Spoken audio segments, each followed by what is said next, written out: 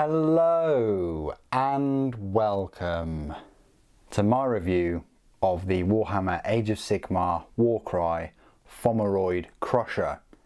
He's basically a Cyclops.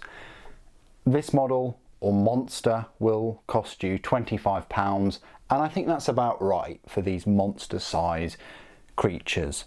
You can use him in your Age of Sigmar battles. He's part of the Slaves to Darkness army and I'll be going through the rules for him towards the end of the video. Uh, but firstly, let's have a look at uh, him, his details, spare parts, size comparisons, then we'll go on to the rules. So he comes in this wonderful little box, this little monster box, and it looks like uh, this is going to be the preferred method of these monsters.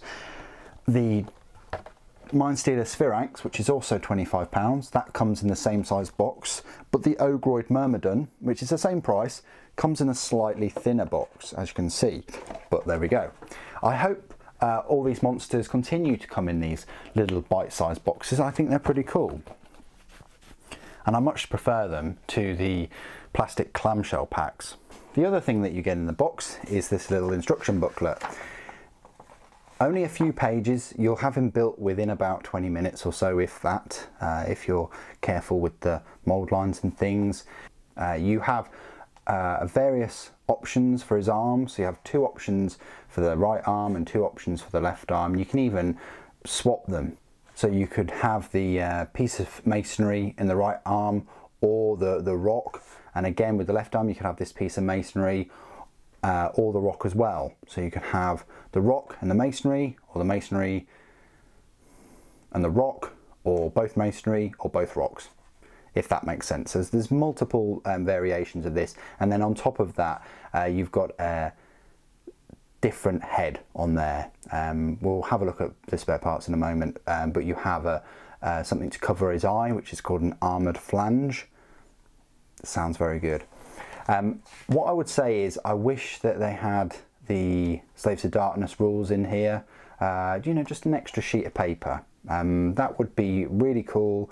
And again, somewhere on the box, just to say, you know, Slaves to Darkness or alternatively um, can be used for Slaves of Darkness because it's not that much of a uh, an effort to put something extra on the box or, or in the box I wouldn't have thought they do that with the uh, Chaos Demons, you know, they say, oh, we can, it says Age of Sigmar on the box and then Warhammer 40,000. So I would like um, both games uh, represented and not just uh, Warcry. However, uh, you do get the abilities on a nice big card uh, for Warcry and a lovely uh, little picture of him. And you do get uh, a little combat card um, for the rules for Warcry 2. Uh, so, you know, he isn't without extras, but I just would prefer these monsters to have uh, something for the core game as well. Okay, let's have a look at the detail of the Fomoroid Crusher or hemorrhoid crusher as I like to call him. Uh, so lots of detail on this model. I love this Cyclops eye, very God of War-esque. If you played God of War, any of the older ones as well, uh, even God of War 3, the uh, you know updated HD version and things, um, you'll know that there are these kind of beasts and minotaurs and um, Medusas and all kinds of things. If they had some kind of Kratos type model, I'd be all over that because you sort of do have a few Medusas in the Age of Sigmar if you look closely enough. And obviously we've got a Cyclops and we've now got Minotaur type creatures as well. Um, so, you know, you can make a little, you know, God of War themed uh, miniature collection or, or diorama with uh, some Games Workshop's models now, um, which I'm a big fan of. Anyway, moving back to the model, uh, there are a few skulls there hanging from the right side of his uh, waist, even some that are helmeted, heads that are helmeted. You've got a little chaos symbol there.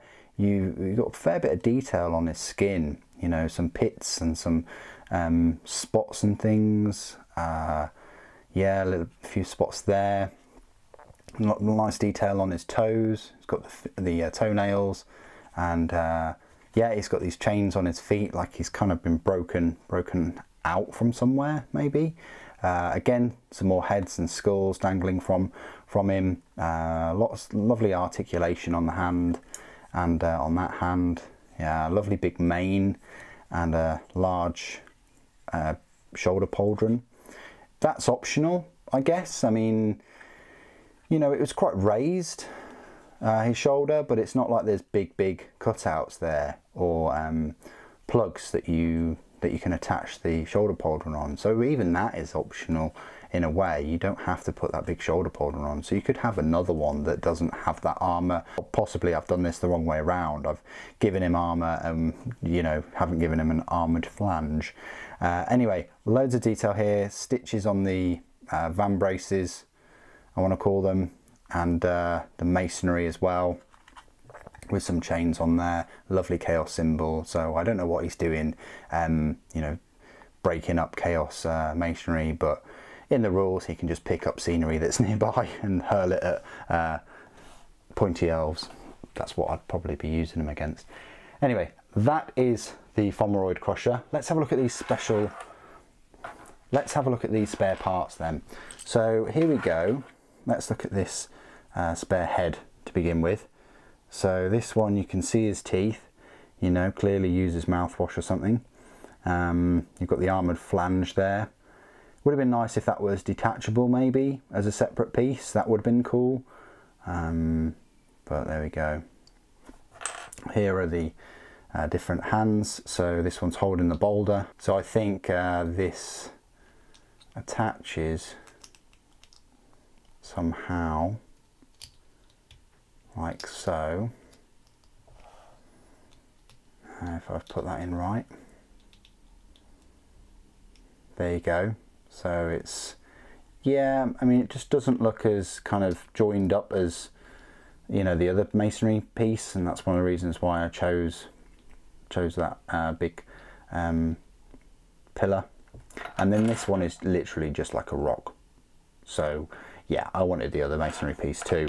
Um, if I get a second one, which is probably likely, uh, I'll just do them with the rocks, I guess, and with a different uh, head, and maybe just void the um, shoulder pauldron. But um, this model, you know, apart from the head and the and the two arm options, is going to look similar to a second one, unlike the Sphiranx, because the Sphiranx is facing another direction. Um, and also it's a completely different head. This is the same head, but just with the armored flange and the and the mouth is, um, you know, slightly closed. But uh, I, mean, in terms of the horns and the hairstyle and, and all the rest of it. Anyway, they're the spare parts. Let's have a look at the size comparisons. So I don't, I haven't yet built the Mindstealer Sphiranx, uh, but I will very soon. And in that review, uh, you'll see the size comparison between uh, this guy and the Sphiranx. So if you want to see that, um, go check that video out, uh, which will be up very shortly. But I do have the Ogroid Myrmidon, and the Ogroid Myrmidon I thought was quite a bit of a beast, you know, it's quite big. But the Fomoroid Crusher is huge. Let's not forget, you know, they're both the same price. Uh, the Ogroid Myrmidon comes in uh, just I think it's still in two sprues though, but it comes in a thinner box. But the Fomoroid Crusher is a big boy. Look how big he is. He's easily head and shoulders. He's got so much bulk compared. I mean, look at those shoulder muscles, those rippling biceps. This Cyclops has been working out. Um, you know, no doubt the Myrmidon is probably the better fighter, but sheer brute strength and maybe toughness even. Uh, the Crusher probably has it. Um, so yeah, I wanted to just show you the, the big size comparison there, you know, how big the Crusher is compared to the Myrmidon. Uh, let me show you some size comparisons with uh, some typical uh, models. So I've got a Chaos Knight here, and he is taller than a Chaos Knight. You could definitely batter one of these guys off a, uh, a horse, a steed. Um, definitely one of those pointy elves um, that would smack the smirk off their faces, wouldn't it? Let's let's agree, guys. And then the uh, even the Karkadrak, um, you know, the Chaos Lord and the Karkadrak is just I think the Crusher is a little bit taller head-wise, you know, where his hair is, but of course the Lord has got this axe which then tips him to the post. Uh, but yeah, you know, he, he definitely is, is similar height and he's just walking about. Uh, you've got a Chaos Warrior here. Yeah, dwarfs him. And then we've got a Spire Tyrant, uh, you know, Gladiator. Uh, yeah, even smaller still. Let me show you some 40k um, size comparisons because I'd say this is mainly a 40k channel. We've got a Primaris on the right and a uh, normal Space Marine on the left. Can you believe that he is taller than a Primaris? I can't believe it. Um, but there you go. Compared to a Space Marine and then the Primaris. Yeah, probably goes up to his belly. So this is a big model you're getting for £25. Pretty big model and as you can see plenty of detail there. Uh, it would be great in a diorama I'm sure. Um, lots of character this model brings. Okay, this is my part of the review where I will go through all of the Fomoroid Crusher's rules. Of course, uh, you've got the little ability card with uh, for Warcry, and I'll just read these uh, abilities out. You've got uh, double hurl masonry. A fighter can use this ability only if they are within one inch of an obstacle. Pick an enemy fighter within eight inches of this fighter and roll a dice. On a 3 to 4, allocate one damage point to that fighter. On a 5 to 6, allocate a number of damage points to that fighter equal to the value of this ability. Triple Rampaging Charge. Until the end of this fighter's activation, the next time this fighter finishes a move action within one inch of an enemy fighter, pick one visible enemy fighter within one inch of this fighter. Allocate a number of damage points to that fighter equal to the value of this ability. And finally, Quad, Bloody Trophy. A fighter can use this ability only if an enemy fighter has been taken down by an attack action made by them this activation. The player, the player controlling this fighter immediately gains one wild dice that can be used in the hero phase of the next battle round. So there you go, that's all the abilities for Warcry. Uh, you'll find the rules uh, for the Fomoroid Crusher in the brand new Slaves to Darkness Chaos Battle Tome or through the Age of Sigmar app, which I strongly suggest you download, even if it's just to um, look at a few of the models. I wish the pictures were bigger though. Uh, that's one of the things I'm taking away from this. I wish I wish there was a bit more of a gallery in, in that app. Um, alternatively, you can just go on Games Workshop's website and find the rules for free there. So uh, you'll find the Fomoroid Crusher. It's actually the last unit in the book if you don't count the Endless Spells. The minimum size is 1 and the maximum size is 1 and he will cost you 100 points, uh, which is the same amount of points as the Mind Stealer Sphinx, uh, but cheaper than the 140 points Ogroid Myrmidon. So what do you get? Well, you get a movement of 6 inches, uh, 10 wounds, 5 plus save and bravery 10. It's the same as the Mindstealer Sphinx except the Mindstealer Sphinx is quicker. That monster has a 10 inch move. And the Ogroid Myrmidon it's the same movement speed, has two less wounds at 8, a better save at 4 plus, and a worse bravery at 8 as well. A Fomoroid Crusher is a single model armed with Crushing Fists and Hurl Terrain. So Hurl Terrain is a missile weapon, it's a range 12 inch, it's 2 attacks, 3 plus to hit, 3 plus to wound, minus 1 rend, and 2 damage. That's very, very strong. You know, you only need a 3 plus to hit and you get 2 attacks. It's a bit short range at 12 inches, but there we go. Crushing Fists, it's a 1 inch range, of course. Uh, 4 attacks though. 3 plus to hit, 3 plus to wound, no rend, but damage 2. So it's nice that it's damage 2, and it's nice that you get 4 attacks. Now abilities, these are pretty good abilities. Rampage. After this model makes a charge move, you can pick one enemy unit within 1 inch of this model and roll a number of dice equal to the charge roll for that charge move. For each six, that unit suffers one mortal wound. Brilliant. So you're stacking up those mortal wounds as well.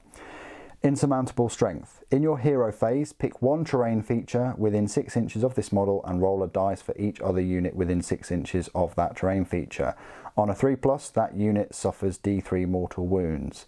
That's pretty good, but it's dependent on a terrain feature within 6 inches of him and 6 inches of another unit and the other unit has to be within six inches of that terrain feature too. So that's a bit more dependent um, than, compared to the Rampage, but still pretty decent, nice little bonus on top of that. Uh, keywords is Chaos, Mortal, Monster, Slave to Darkness, and Fomoroid Crusher. So very, very decent model. You know, he's got that, that missile weapon, uh, which uh, Sphinx doesn't have.